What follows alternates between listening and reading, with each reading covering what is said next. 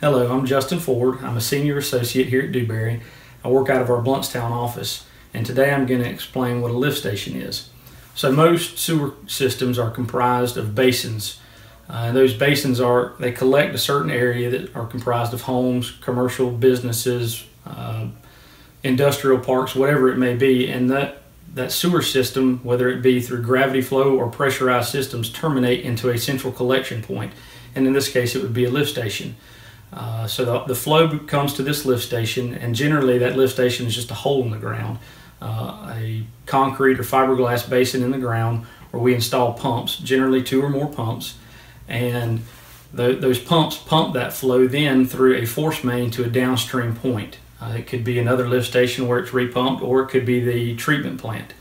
So as engineers, our responsibility is to, to determine the amount of flow from the homes or commercial users the amount of flow that's coming to that lift station, then, uh, then size the well, the pumps, and the force main appropriately to adequately accommodate the, uh, the flow from those users.